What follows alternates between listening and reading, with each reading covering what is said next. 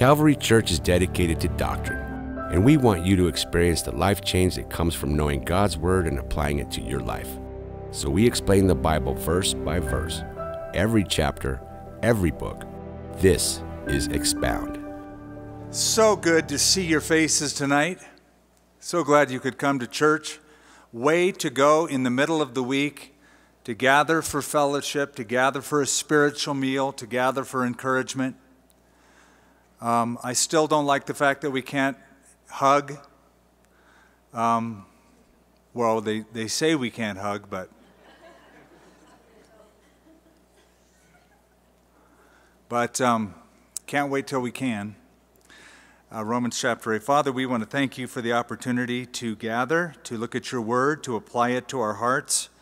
Um, we find that we are in a very unique time, but we also find, Lord, that we are in a unique setting where we as a church regularly gather to go verse by verse, chapter by chapter, through every book of the Bible. Um, it's an opportunity that most in the world either don't have or don't take advantage of. So we consider ourselves blessed that we have the time afforded to us or intentioned by us to make sure that we dig deep and make application of these truths to, to our lives. We pray that you will strengthen us. We pray that you will direct us. You know the issues that we deal with. You know the direction that we're looking for from you, the strength that we need to serve you, the discernment, the health. You know all our needs. And we're so grateful, Lord, that we can roll them over unto you and you will provide. In Jesus' name, amen. On January 1st, 1863, the President of the United States, then Abraham Lincoln, signed an edict proclaiming that the slaves in the Confederate States were free. What he signed was called the Emancipation Proclamation. 2,000 years ago, God signed our Emancipation Proclamation. On a cross just outside of the Damascus Gate in Jerusalem, when his son went to die for our sins. We who were slaves of sin, anyone Anyone who would be born a slave of sin and would desire freedom, emancipation, could have it from that moment onward. The edict was signed by blood. Romans chapter 8, I said, was a chapter that I have been waiting to get to because it is one of the greatest chapters in all of Holy Writ, in all of Scripture. It is uh, what one guy called, remember I talked to this weekend about old dead guys? So here's another quote of an old dead guy Griffith Thomas, uh, a name not many know, but he was really responsible, he and a couple other guys, for Dallas Theological Seminary. Uh, he ran around with the likes of D.L. Moody and wrote uh, on theology, etc. He said Romans chapter 8 is the chapter of chapters for the believer. I suppose if Scripture were a golden ring, that the book of Romans would be the diamond on that golden ring. And Romans chapter 8 would be the sparkle on the diamond of that golden ring. It's a chapter that, if you spend any time at all reading through the book of Romans, you have come to dearly love. By God's grace, I'm going to attempt to go through just this one chapter tonight. You've heard me make promises like that before, and I've been unable to fulfill them, but we're going to give it a try.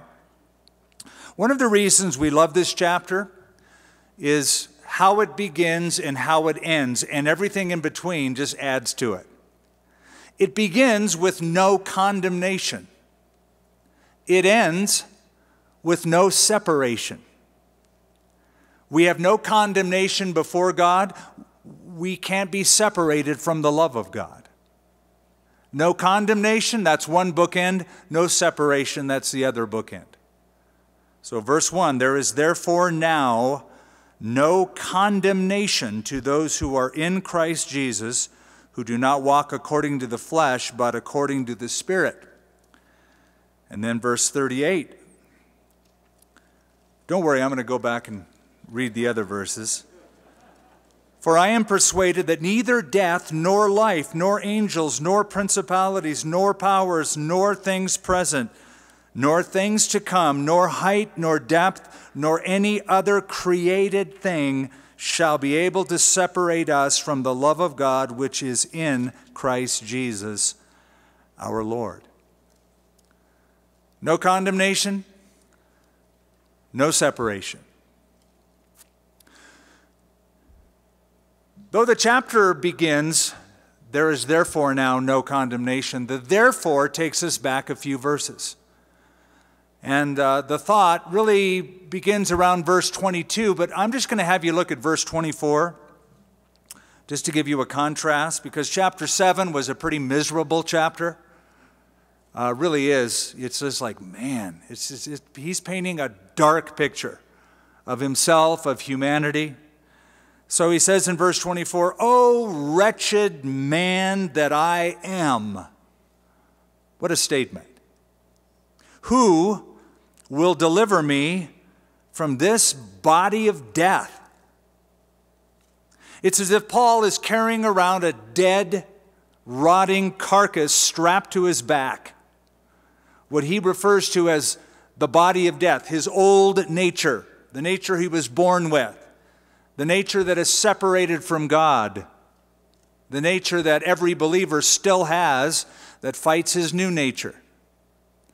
O wretched man that I am, who will deliver me from this body of death? That sort of sums up, that's sort of the, the pinnacle remark of, of chapter 7. The chapter is filled with desperation, it's filled with defeat, and no sooner does he ask that question than he answers the question Who will deliver me from this body of death? Verse 25 is the answer to that question. I thank God through Jesus Christ our Lord. That's the answer. I'm a wretched man. Who will deliver me? Jesus Christ our Lord will deliver you. He's the one. And then, there is therefore now no condemnation. Just a little bit of a review. Go back a few verses in chapter 7. And look at verse 15. If you remember last week, I mentioned that uh, Paul the Apostle uses about 47 personal pronouns in chapter 7. I, me, mine. He's very, very self focused. Verse 15, I'll emphasize that.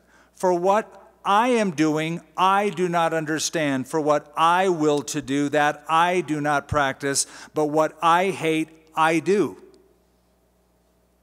If then I do what I will not to do, I agree with the law that it is good.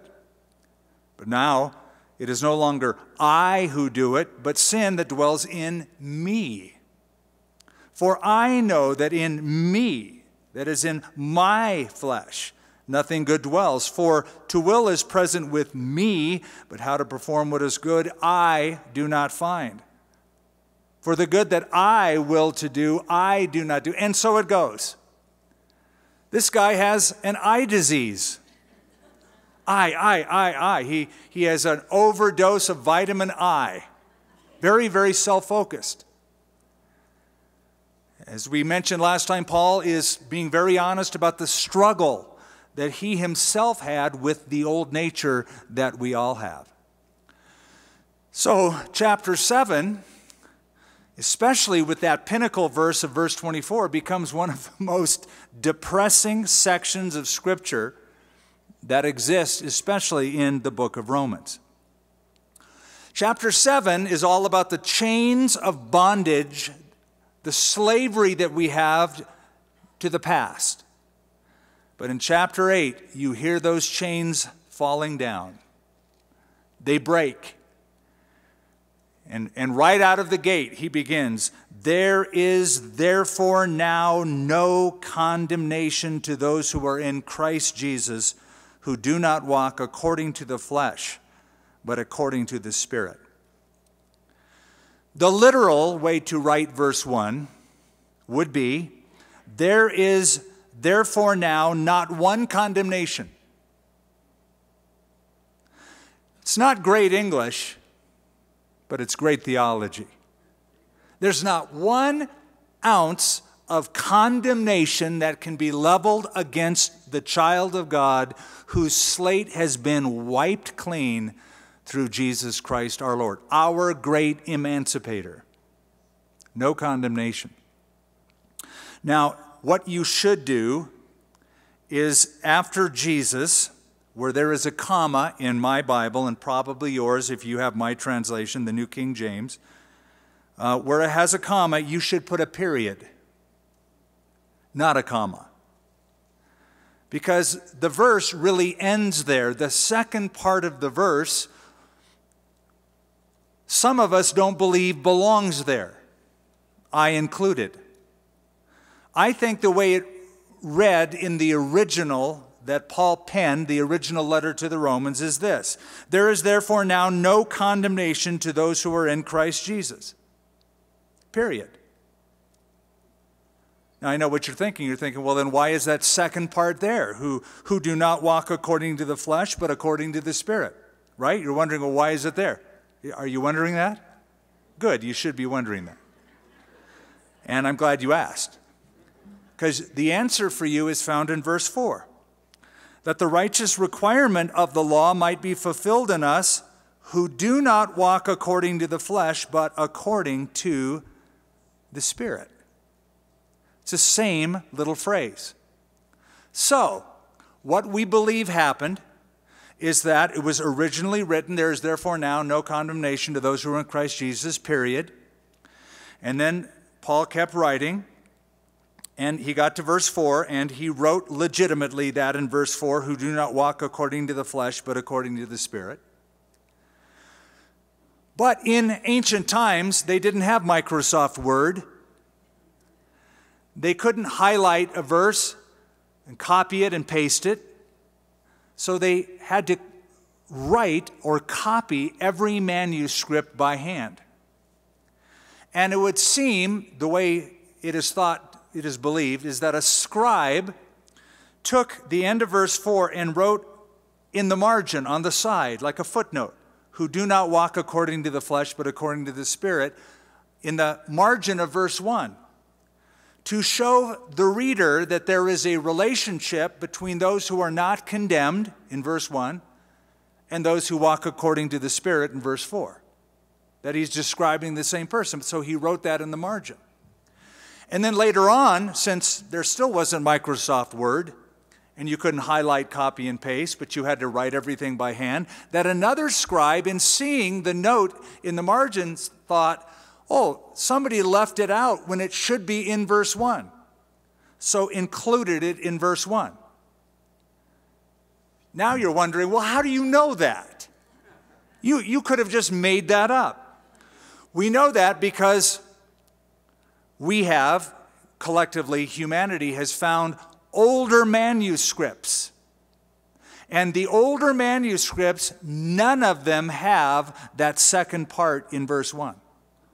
All of them say, There is therefore now no condemnation to those who are in Christ Jesus, period. And it's important that you make the distinction because if you keep that little phrase in, um, you're going to be looking inward. And you're going to be wondering, well, there's no condemnation if I'm walking in the Spirit. But four hours ago, I didn't walk in the Spirit when I gave that guy who cut in front of me that sign. I shouldn't have. I know I shouldn't have, but I did it, and I wasn't walking. So maybe there's no condemnation for me because of what happened four hours ago. You know how it is. We're up and down. So you're going to be looking inward. But if you omit that phrase, you're not going to be looking inward, you're going to be looking upward. There is therefore now no condemnation to those who are in Christ Jesus, period. Are you in Christ? No condemnation. So that's why it's important to, to, to, make note of that. Probably that was added by a scribe later on because older manuscripts don't include that according to the, those who walk according to the flesh, but according to the Spirit. Now, I know I'm still in verse 1, but bear with me. Notice what it doesn't say. It doesn't say, There is therefore now no failure for those who are in Christ Jesus. Well, that's not true because four hours ago you failed uh, when that guy pulled out in front of you. Um, it, it doesn't say there's no mistakes for those who are in Christ Jesus, nor does it say there is therefore now no consequence for those who are in Christ Jesus, because um, you could do something, you could sin in a certain area and bear a temporal consequence for it. It says, There's therefore now no condemnation. That is judgment. It's a very strong word for judgment. There is no strong divine judgment for those who are in Christ Jesus. Yes, the believer will one day stand before the judgment seat of Christ, the reward seat, the Bema seat of Christ, and receive a reward for things done in the body, Paul said. Yes, there are consequences for unbelievers who will be judged and condemned before God because they didn't let Jesus take their sin. But for those of us who are in Christ Jesus, judgment's over, man. Judgment's past, past tense. In John chapter 5, uh, Jesus said these words Most assuredly, I say to you, he who hears my words and believes in him who sent me. Let me ask you a question. Have you heard the words of Jesus? Yes. Do you believe in Jesus and the one that Jesus was sent by? Yes. Okay, so this is now for you. He who hears my words and believes in him who sent me has everlasting life, has it, not will have it, has it right now, present tense, and shall not come into judgment, but has passed from death into life. Judgment's over. There's a horrible phrase I sometimes hear believers use. Something bad will happen, something unfortunate will happen. Life takes a turn. And they'll say, God's punishing me. I've got this sickness. God must be punishing me, or this happened to me. It's because God's punishing me. God's not punishing you. God punished Christ for you so that you never have to be punished or condemned. That's past tense. There is therefore now not one condemnation, no condemnation for those who are in Christ Jesus. Well, we made it through one verse. Four, the law of the Spirit of life in Christ Jesus has made me free from the law of sin and death. For what the law could not do, in that it was weak through the flesh, God did by sending his own Son in the likeness of sinful flesh and or on account of sin.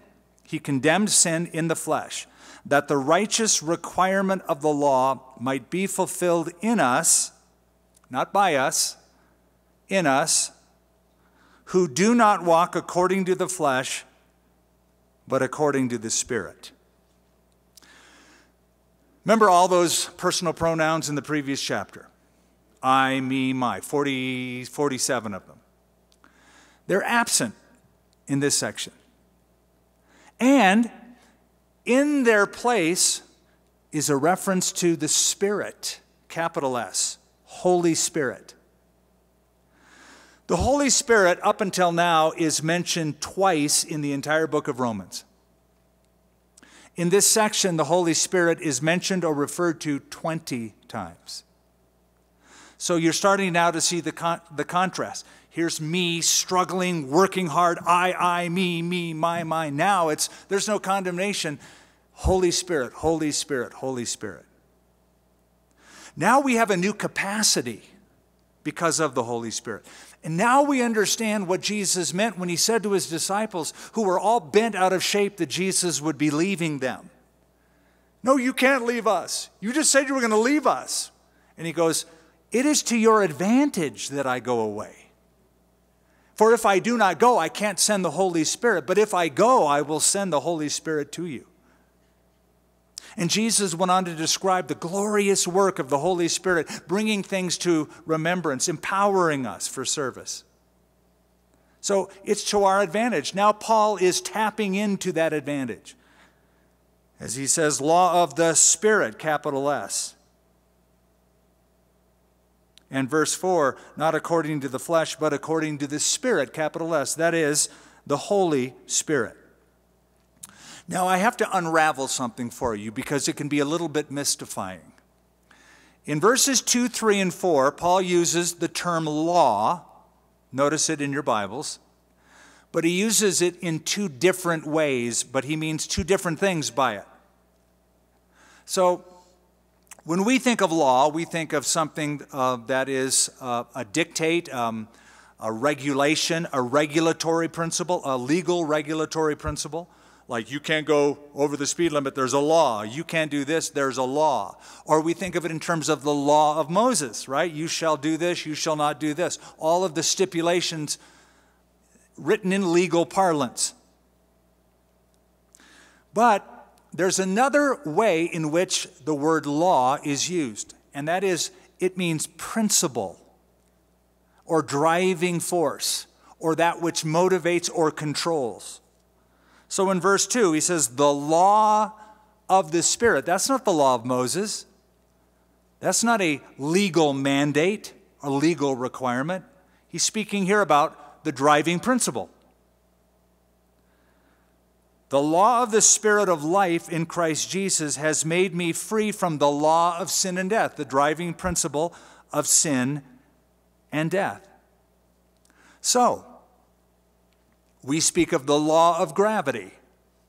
It doesn't mean that the United States Constitution wrote gravity into law, and therefore gravity exists because it's one of the laws in our country.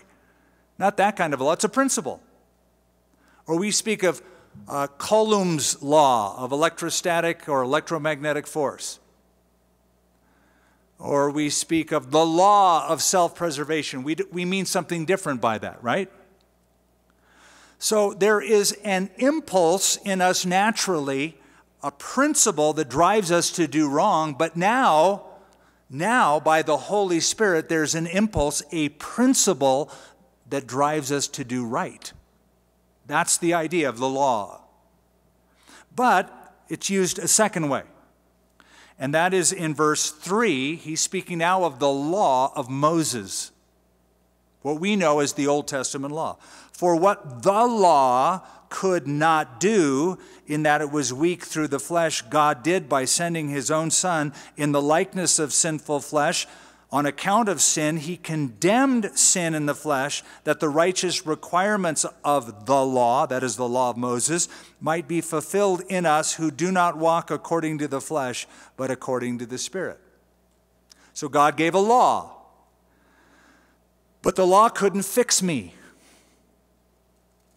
Like he said in the previous chapter, the problem wasn't with the law, the problem was with me. And somebody said, Amen, right? The problem is with you, Skip. And she's right, it is.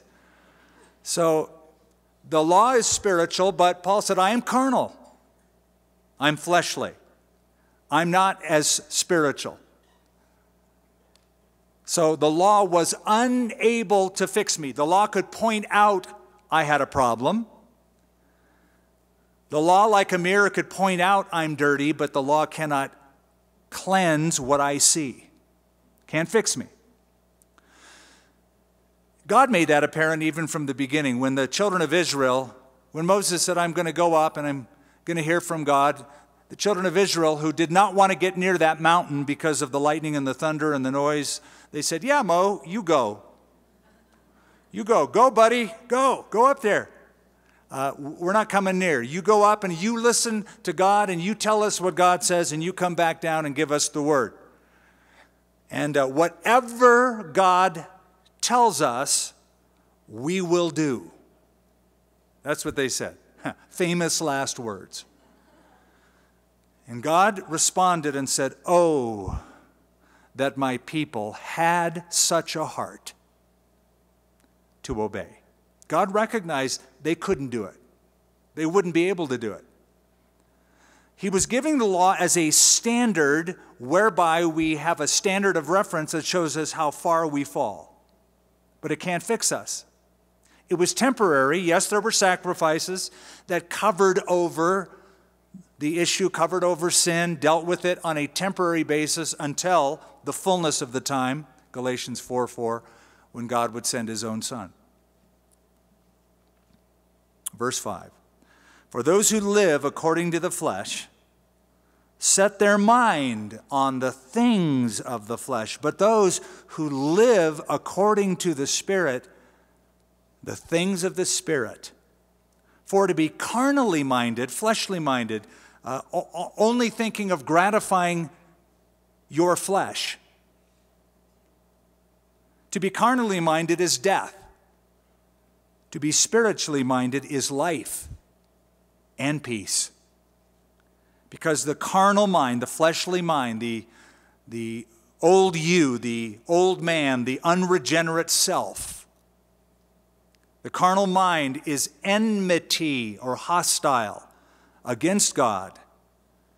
For it is not subject to the law of God, nor indeed can be. So then, those who are in the flesh cannot please God. That's a pretty good description of you and me, BC. Before Christ, before we were saved, we lived uh, with the mind on the, on the flesh to gratify fleshly desires, to gratify ourselves. Um, Jesus in the Sermon on the Mount said, Don't worry about what you're going to eat, what you're going to drink, what you're going to wear, for after all these things the Gentiles seek. That's how the unbelieving world lives. It only lives to fulfill fleshly desires. Now, you have certain biological drives, what they call primary biological drives and secondary drives. Among your primary drives is you have the air drive, the, the, the need to breathe. And when you breathe, you oxygenate your bloodstream. So you have that basic drive. You're underwater for a while, you, you got to get up because you got to do that. Got to bring oxygen to those cells. You also have the drive for water. You have to um, keep hydrated, otherwise, because your body is so much water, you'll die without it. You also have a drive to eat, a food drive which replenishes energy for your cells in your body, helps you grow. You have a sex drive. God put that drive within all of us so that you can have posterity, you have future generations. All of those things drive biologically a human being. Nothing wrong with them. But if those things control you, they can be problematic. If the sex drive controls you, if you live only for sexual experiences or only culinary experiences, or your desire to drink causes you to imbibe substances that are detrimental to you over a long haul, they can be problematic. We talked last week about body, soul, and spirit, and having the mind, the soul, dominated either by the Spirit or by the flesh. He's just continuing on that and um, explaining that a bit further. So then, those who are in the flesh cannot please God. But, now this is the new you. That's the old you. That's you BC, before Christ. Uh, but you are not in the flesh, but in the Spirit if indeed the Holy Spirit of God or the Spirit of God dwells in you, Now, if anyone does not have the Spirit of Christ, he is not his. When you say yes to Jesus, the Holy Spirit comes within you. And if Christ is in you, the body is dead, the flesh, the, the fleshly control, the body control. You don't have to be controlled by the old impulses anymore. If Christ is in you, the body is dead because of sin, but the spirit is life because of righteousness. But if the spirit of Him who raised Jesus from the dead dwells in you, he who raised Christ from the dead will also give life to your mortal bodies through his Spirit who dwells in you. Now things have changed. Now you live differently. Now you think differently. now you want to please God. You want to serve God. Man, I remember that as one of the first indications that my life was changing. I didn't want to go to church before I was saved. I had to go to church. And when I was a teenager, I would go to church stoned, high, just to get through it. I would tell my friends I saw the priest fly up in the room with all the altar boys and kind of float. It was a spiritual experience, but it was brought on not by the Holy Spirit, but by the unholy spirit of lysergic acid dimethylamide, uh, LSD. But suddenly I gave my life to Christ, and I remember the afternoon that I did that. And all of a sudden, I remember having the impulse I got to get to church. I know of this church. I was up in San Jose. I know of this crazy church down in SoCal called Calvary Chapel. I'm going to go there. All my friends were going there. All of a sudden, I wanted to read the Bible. You, I didn't want to read the Bible before. I wouldn't have understood it had I tried to read it. But I had such a craving for it. So I think differently. We think and live differently. We have a, a new desire, but also not only a desire, we have a capability, a capacity put within us by the Holy Spirit to do that which we desire. We desire what we desire now in Christ because He put that desire in us. He put that desire in us so that He might fulfill that desire in us by giving us the Holy Spirit. So we have a new desires to please Him, to serve Him, and a new capacity to do those things. So you kind of mix all these things. There's no condemnation. You add the no condemnation to the Holy Spirit's invigoration, and that spells life transformation, total change by the Holy Spirit. And, and, he's making that evident. This is what should be in every child of God, controlled by the Spirit. If Christ is in you, the body is dead because of sin, but the Spirit is life because of righteousness. Somebody once said, if your religion doesn't change you, then you should change your religion. Wise thinking. I've always believed this. I've always had this as my religion. Really? Has it really helped you or done any good? Because if not, you may want to think about switching.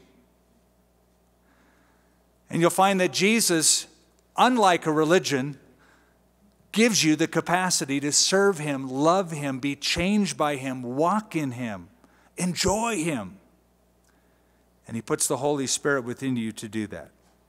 He makes you holy.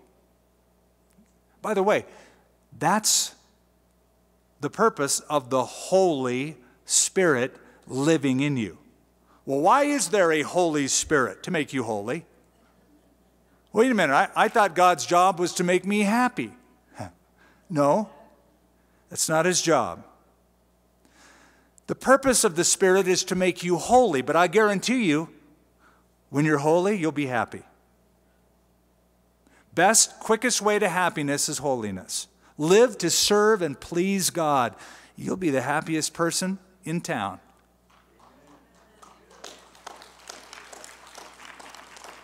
Well, it gets better.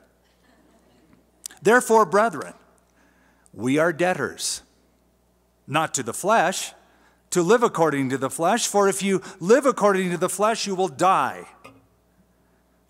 But if by the Spirit you put to death, the old word was mortify, I'll get to that. If you put to death the deeds of the body, you will live. Paul is simply saying, look, you have no obligation to your old self, to your sinful fallen nature.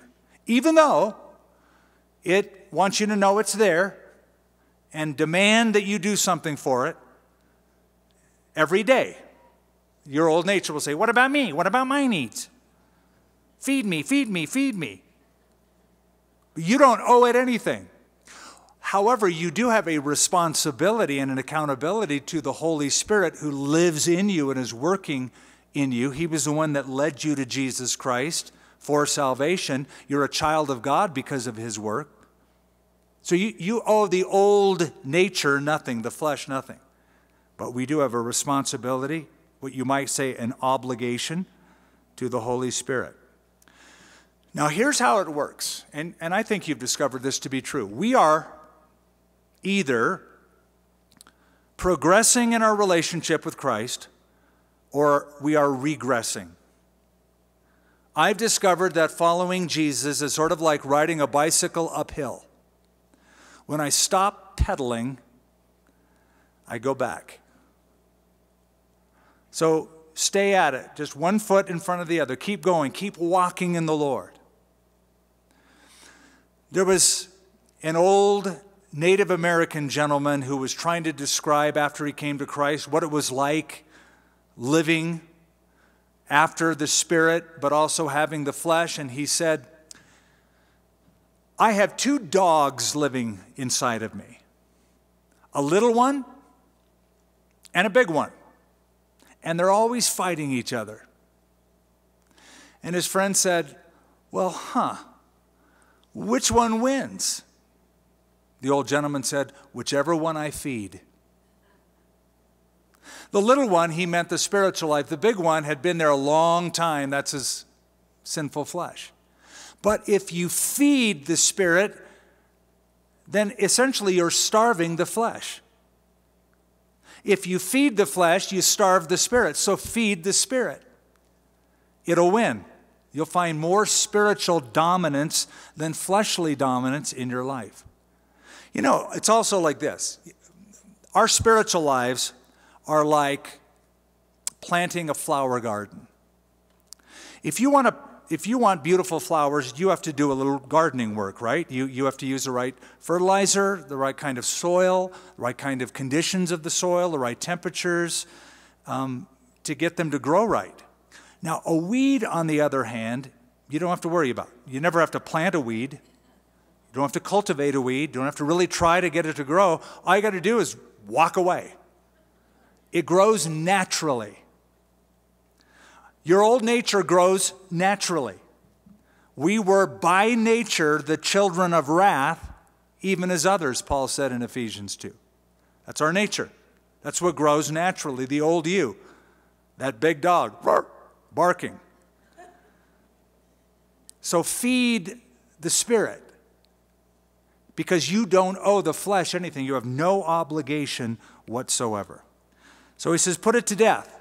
The old theologians called it mortifying the flesh. That's sort of a Puritan term based on this language of Paul in the Old King James Version.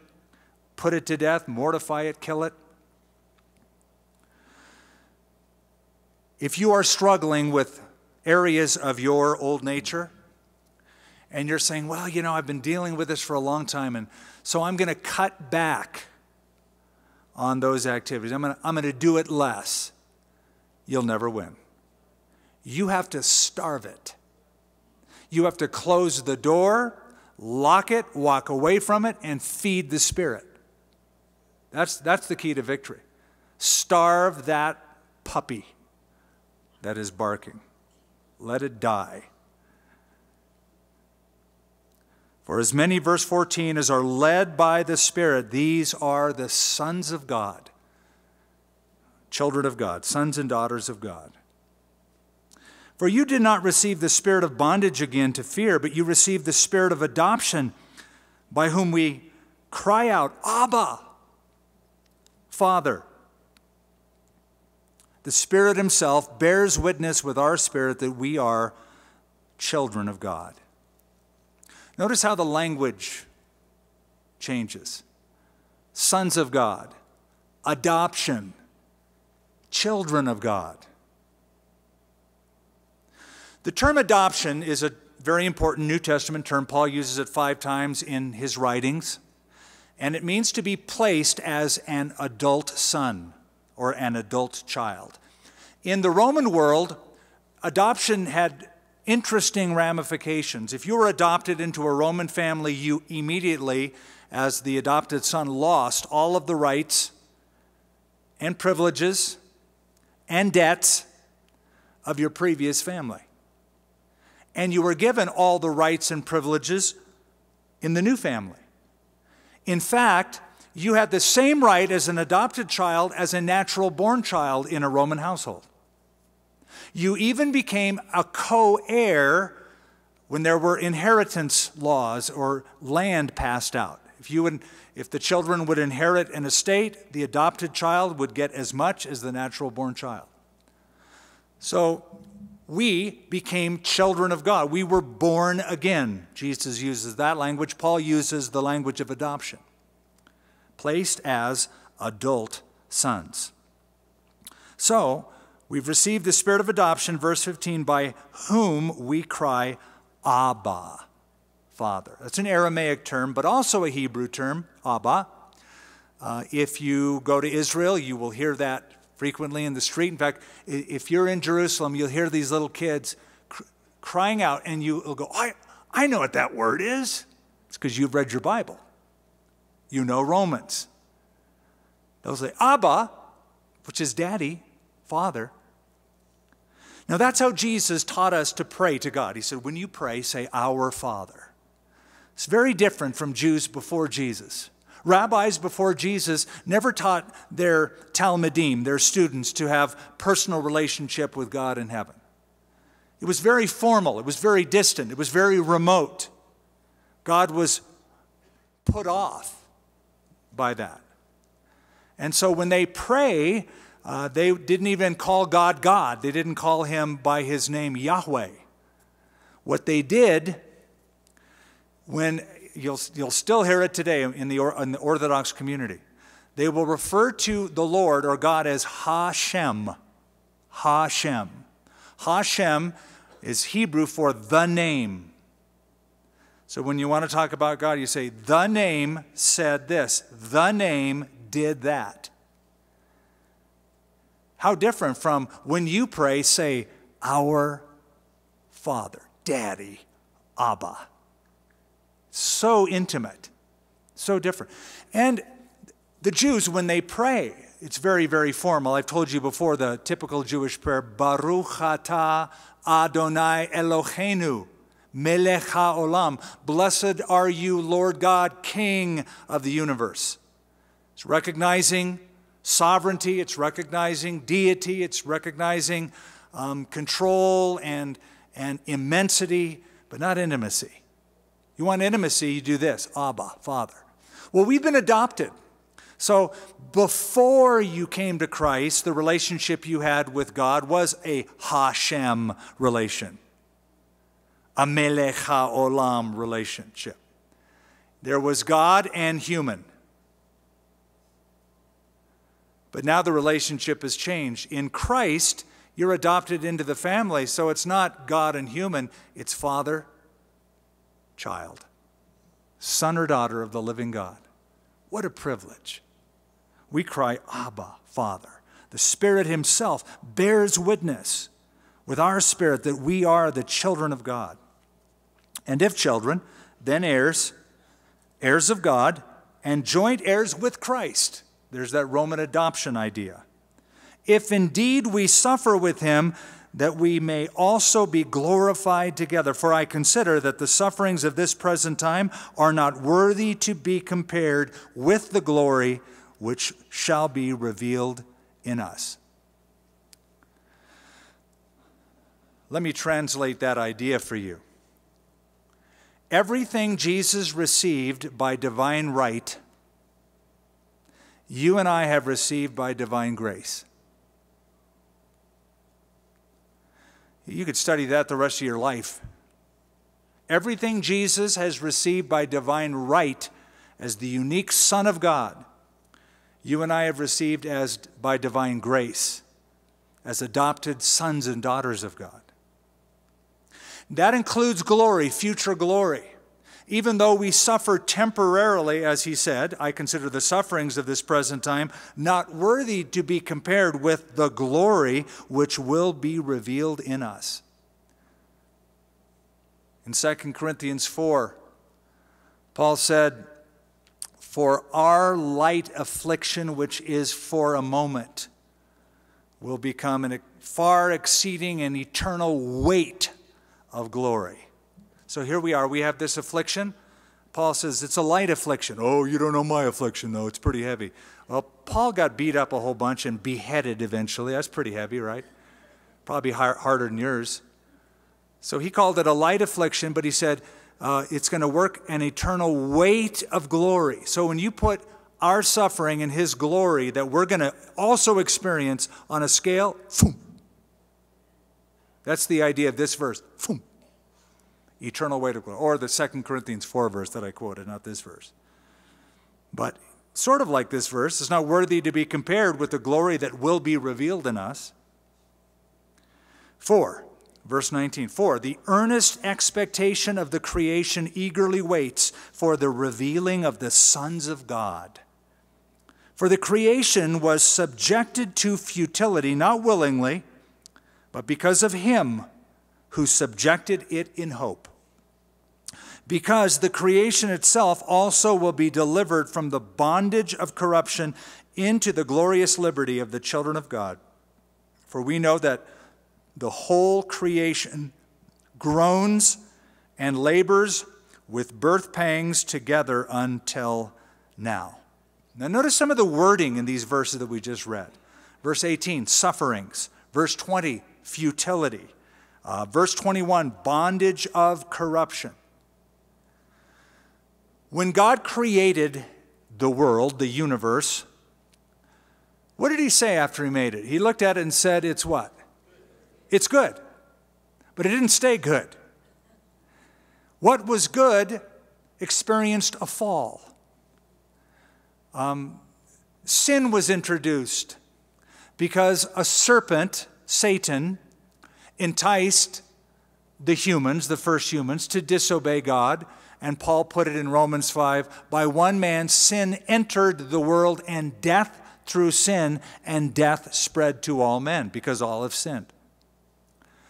Now, that's not creation's fault, that was Adam's fault. But the creation was subjected to futility, to emptiness, to the curse. And Paul says it groans. The bondage, verse 21, of corruption. One of the most um, um, plain examples of this is in physics, in uh, the second law of thermodynamics, which is entropy, that in, a, in an isolated system, energy is lost over time, uh, that, that uh, things don't stay in their constant state, but they deteriorate, they degenerate over time. That's, we experience that daily. Daily. We uh, look in the mirror, entropy. It's happening all around us. Second law of thermodynamics, it's in action we are now subjected to futility. Verse 23 And not only they, but we also, who have the first fruits of the Spirit, even we ourselves groan within ourselves, eagerly waiting for the adoption, the redemption of our body. So, we have been given a foretaste what he calls here the first fruits. A foretaste, that's how the New Living Translation, I think, puts it. A foretaste, a preview of coming attractions. All, all, all I can say is, I still remember and I still experience what it was like to come into a relationship with Christ. It was real. It was transformative. It was awesome. It's all I could think about. And the Holy Spirit did that. He was giving me a foretaste of what heaven is going to be like. Now I see through a glass darkly, but I've tasted. And, and one of the reasons I keep going, why I am motivated to keep going, is because, man, I've tasted it. I know what it tastes like. So I grew up on Hamburger Helper.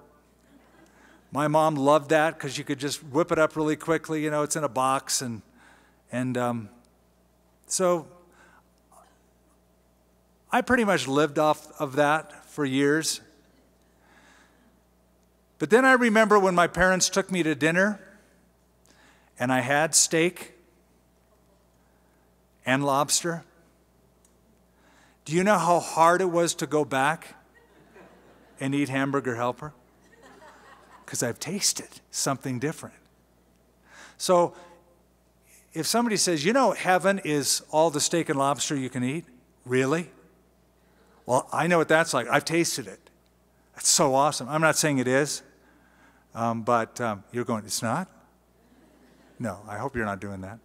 But um, anyway, so we, we have a taste. We've been given the first fruits of the Spirit.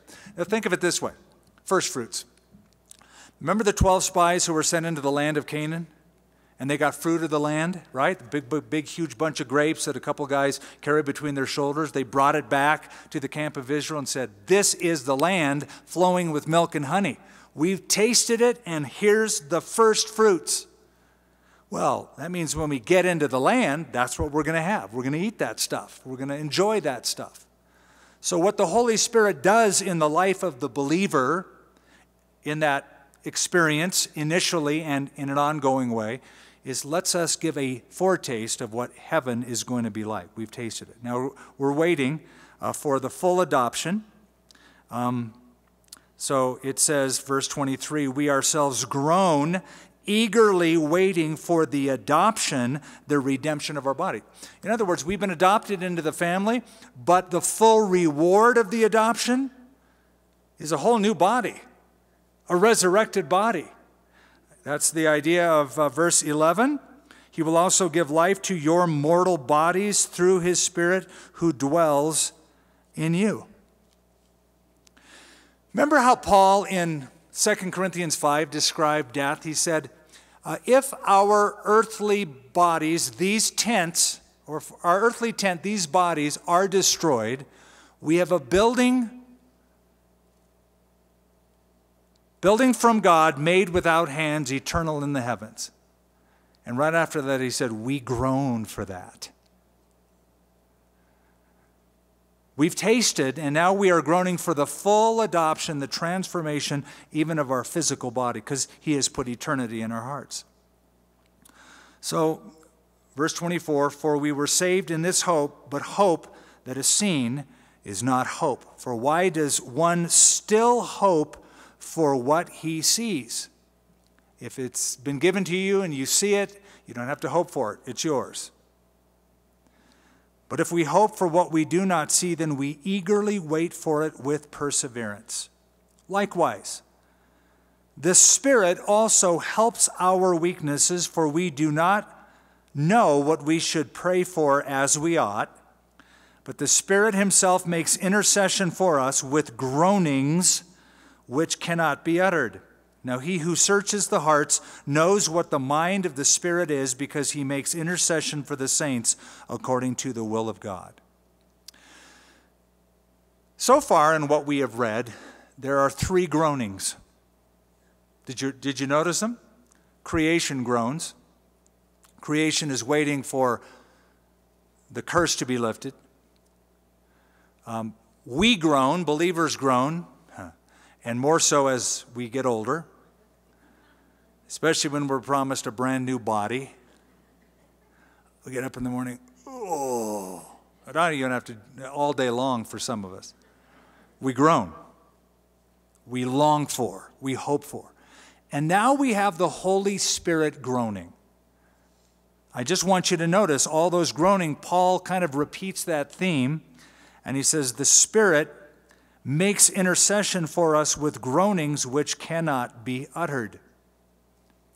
What does that mean exactly? Well, I'm looking at the time, and I'm going to just give you a little bit of a, a shot at this and, and see how far I get. Um, number one, it could refer to the Holy Spirit's groanings. That's how some interpret it.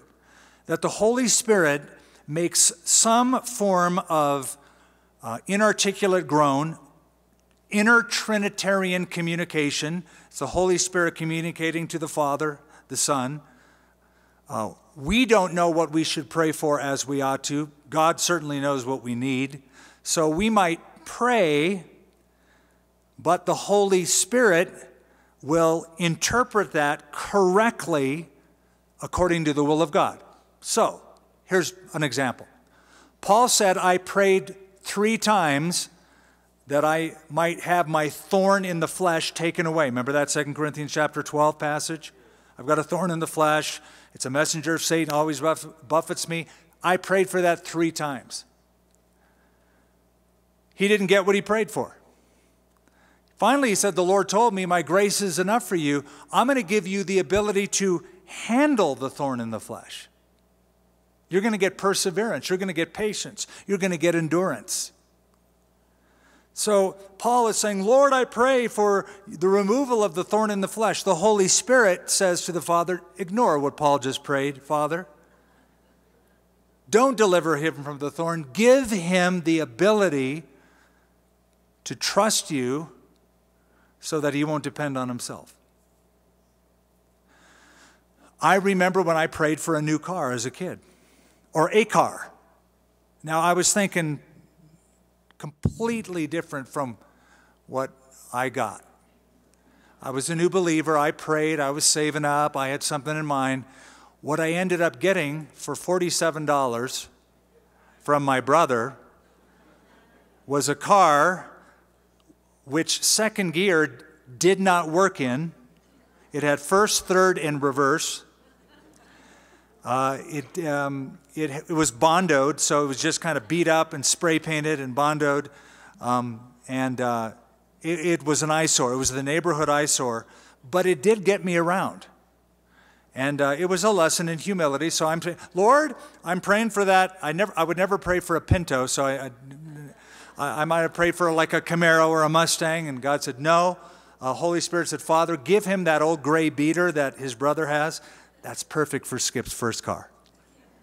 Okay? It could mean that. It could mean that it's the Holy Spirit's groaning to the Father. That's one possibility. Here's another possibility it could be my groaning. The New English Bible translates it with that in mind. It says, through our inarticulate groans. He could be referring possibly to what Paul will mention in Corinthians when he talks about praying in the Spirit. What we would call the gift of tongues. That part of that is, the, is that our language um, is, is, uh, is a direct link, our prayer language, our, our ability to communicate directly from our spirit to God's spirit. So, you know that language is a pact, right? It's an agreement, it's a covenant. Uh, the covenant that you and I share together is called English. Um, there are other languages, of course, but you and I, we don't have that agreement. We don't have that pact, that covenant. But uh, if we did, uh, we could do this in, in a multilingual way. We could go all sorts of different languages. I suppose heaven will be, be that way. But we, we have a very narrow pact.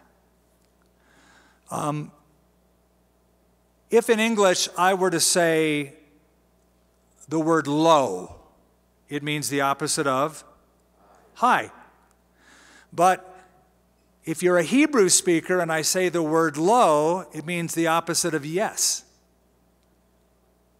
Yes in Hebrew is ken, no in Hebrew is low.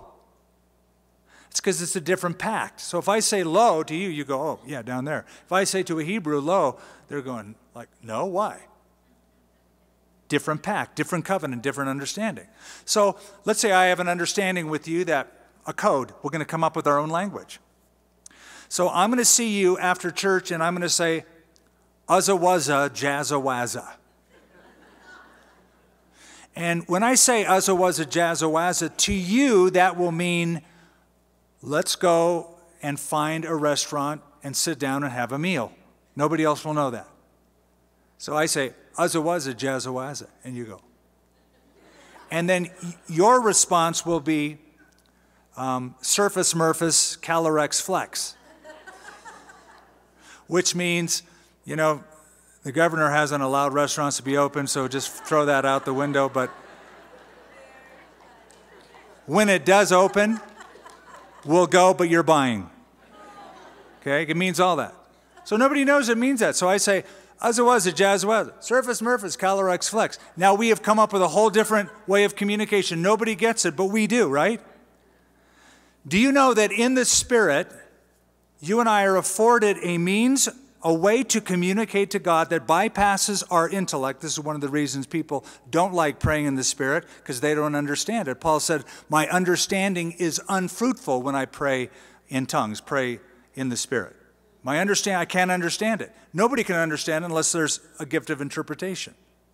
But it's a means by which your spirit can directly communicate according to the will of God. Amazing, huh? So it could mean the Holy Spirit will interpret it, or it could mean we, through our through that pact, that spiritual prayer language called the gift of tongues, uh, is how the Holy Spirit does the groaning. So we have a couple different interpretations. But it says, verse 27 He who searches the hearts knows what the mind of the Spirit is because he makes intercession for the saints according to the will of God. And verse 28 is just so rich, right? It's one of your favorite verses. That if I were just to go over it and close the chapter, which even I couldn't, I'm over time as it is, it would do injustice to it. So I didn't make it through chapter 8, but we nice try. We, we, uh, we, we, we took a stab at it, and, and we know uh, that the problem is me. So we, we've learned a lot, right? We've, we've, we've learned a lot in this session. Father, thank you for these incredible truths that Paul so brilliantly, by your Spirit, articulated to us. We know these experiences. We know the problem of I, I, me, me, my, my. We know this struggle in the flesh, and we know that we are incapable of overcoming it. But we also know that incredible truth of your Holy Spirit that is the down payment that lets us give a foretaste of heaven when we were adopted into the family. That helps us even in our suffering, our trials, because we have tasted glory. I pray you will strengthen your flock, strengthen your people, strengthen them in the faith, encourage them, uh, give them your joy, bring them your peace. May they live in it throughout the rest of this week in Jesus' name. Amen. For more resources from Calvary Church in Skip Heitzig, visit calvarynm.church. Thank you for joining us from this teaching in our series, Expound.